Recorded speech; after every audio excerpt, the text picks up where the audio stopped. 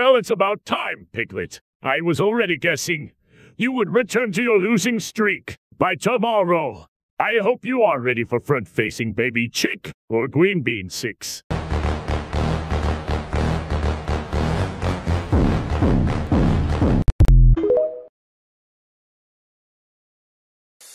a Barbie girl in the Barbie world. Hey, Piglet. I don't think it was a good idea of you showing your weak, puny chest. After seeing you order pancakes, I bet you have a big pot belly.